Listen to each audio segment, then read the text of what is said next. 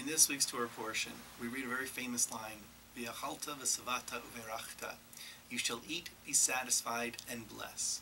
It is a line that is incorporated into the Birkat Hamazon, and it is a line that is incorporated into the Talmudic discussion about saying a blessing after a meal. However, the rabbis note that the order of the words in the phrase from the Torah are very interesting. You should eat, be satisfied, and then bless. The implication of the statement is that if you eat and are not satisfied, you do not have to bless. To which the rabbis come back and say, well, that is technically true. What this verse from the Torah lays down for us is the challenge. The challenge that whatever we partake, whatever we consume from this world, that we find some way to be satisfied, which is to say, some way that we are able to feel a sense of gratitude, even if we are not completely full after the experience.